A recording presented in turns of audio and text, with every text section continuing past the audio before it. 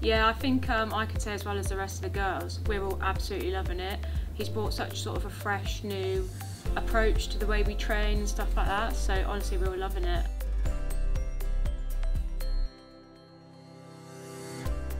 Um, I think it's the level of like professionalism he brings to it. Um, you know, I've played for teams before as, as a woman, and um, you know, it almost feels with Kelvin, it's more professional, more direct. It's more about developing you as a player, and it's honestly like it's really refreshing.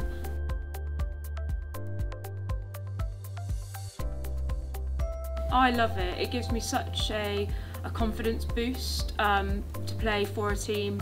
Sort of, I'm from Bicester, so knowing Banbury United, I've always known as a big club in the in the area. So to play for them, it's just it's amazing.